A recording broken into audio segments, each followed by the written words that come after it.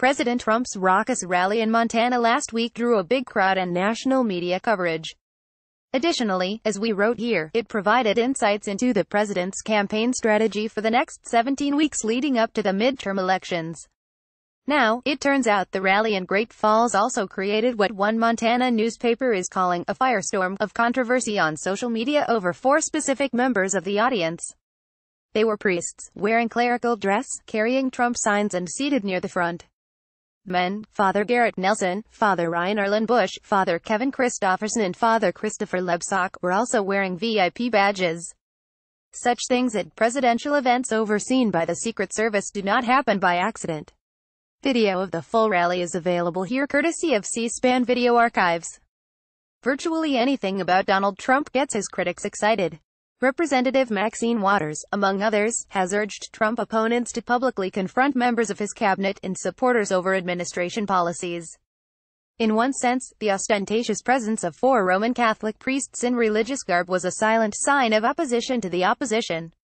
But it got many Twitterers excited about separation of church and state and priests getting involved in political activities, as if daily affairs in a Catholic parish do not involve politics. Anyone familiar with Catholic teaching on such issues as abortion who's talked with modern-day priests should not be surprised that they support a president who says he's opposed to abortion and who supported the Little Sisters of the Poor, among others, in their court fight against Obamacare. And anyone familiar with that church and politics in Montana shouldn't be surprised either.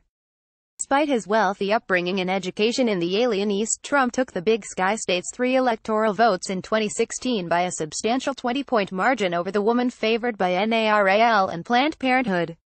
Seven years ago the Montana Catholic Conference released suggested guidelines for clergy and parishioners. Religious leaders should avoid taking positions on candidates or participating in political party matters even while acting in their individual capacity.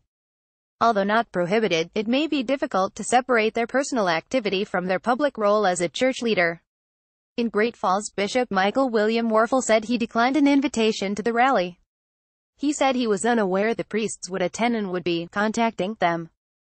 In answer to a newspaper query, the bishop added, in part, while they are free to support a political candidate, and I believe they were there in support of Matt Rosendale, who is running for the Senate seat from Montana, they should not have been attired in clerical garb and seated in such a prominent location.